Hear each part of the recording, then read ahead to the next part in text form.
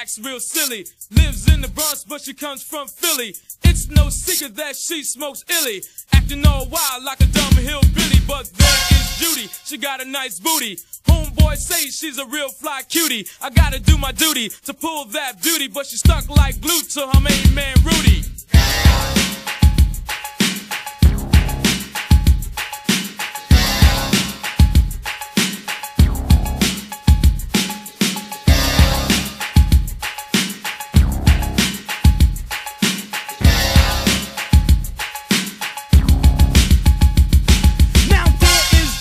I gave her the hickey. While in the other room was a boyfriend, Ricky. Vicky was picky on the presence of Ricky. She told me that I had to make it a quickie. Her weed was busted. Her mother was disgusted. Hit Vicky in the head with a jar of mustard. Vicky was in anger. She wanted to hang her. But all I wanted to do was bang her.